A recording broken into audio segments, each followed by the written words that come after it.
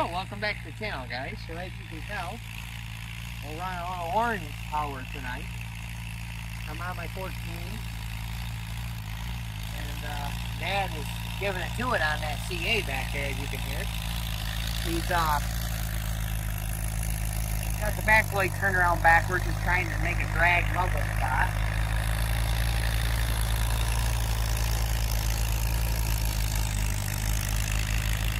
Accomplishing it, maybe, but he's trying.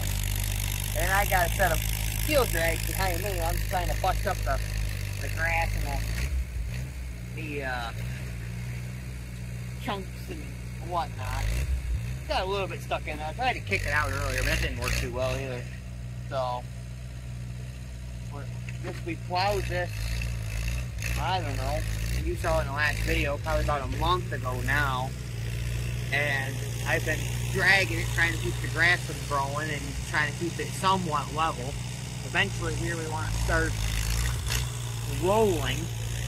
And while he's doing that, so we can kind of try to hack it some and turn it back into grass or yard, I guess.